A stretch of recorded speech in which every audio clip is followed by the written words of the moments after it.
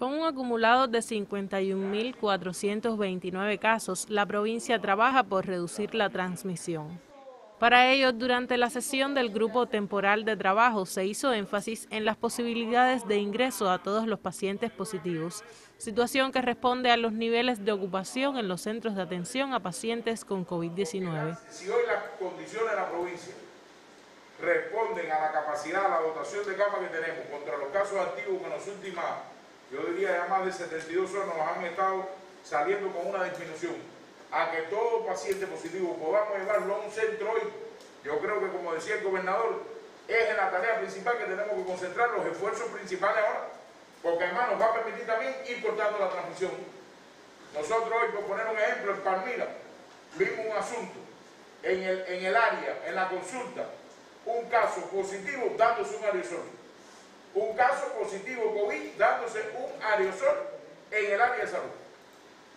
Todos aquí sabemos lo que es un aerosol, ¿verdad? Y el riesgo que corre el médico, la enfermera que se lo está dando, los pacientes que estaban sentados alrededor de ese lugar donde un paciente positivo se está dando un aerosol. La revisión de acuerdos tomados en reuniones anteriores evidenció que aún persisten deficiencias en la realización de las pesquisas, el traslado de pacientes y el funcionamiento de los grupos de trabajo comunitario. También se hizo énfasis en la necesidad de restringir la movilidad con mayor rigor, pues a pesar de la disminución de casos en las últimas jornadas, este no es motivo de confianza. Ante todo, resulta imprescindible elevar la percepción de riesgo. Yo creo que este análisis que se está haciendo con el asunto de la movilidad nos toca a todos.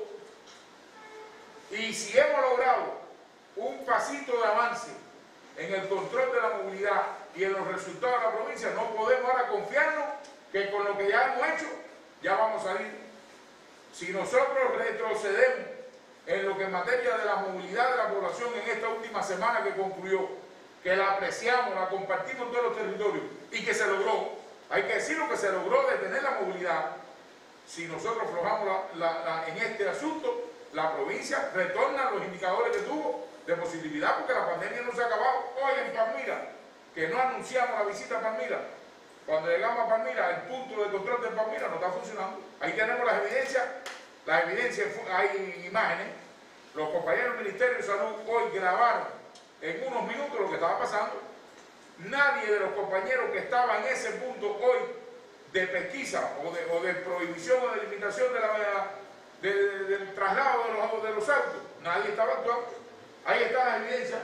Si, si hay dudas, ahí están firmadas en un celular. Ante el déficit de medicamentos en el territorio, también se analizó la posibilidad de aumentar la producción de la medicina natural y tradicional, de forma que esta alternativa apoye el enfrentamiento a la enfermedad. Alien Armas Enríquez, Notisur.